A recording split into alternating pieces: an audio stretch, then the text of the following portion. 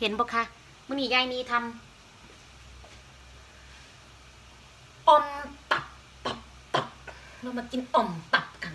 อ่อมตับยายนีมีอะไรคะอ่อมตับยายนีน้ำปลาร้าต้มน้ำปลาร้าเสร็จเรียบร้อยยายนีใส่อะไรคะ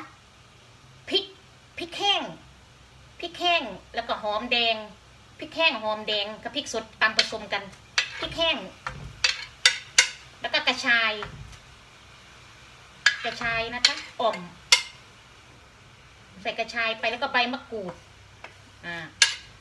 ยายนี้เป็นคนกิน มีอะไรอ่อมใส่อะไรคะ ใส่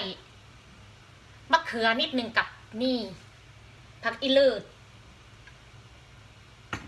กับผักอีเลิศค่ะ สดสดจับจับจุบจวบถ้าใครมีมีผักอีเลิศแล้ว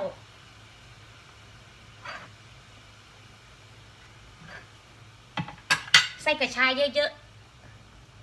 ๆ มีผักอีเลิศตามตามทำนองของเรืองของเขา แล้วก็ตับตับอันนี้นะคะ ตับ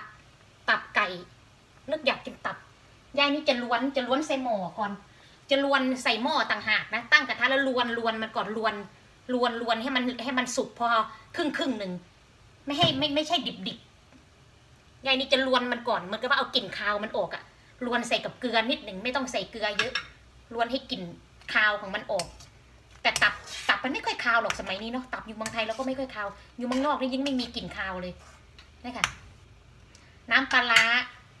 ต้มนะเอาน้ำเปล่าลงไปแล้วเอาน้ำปลากรองเอาน้ำปลา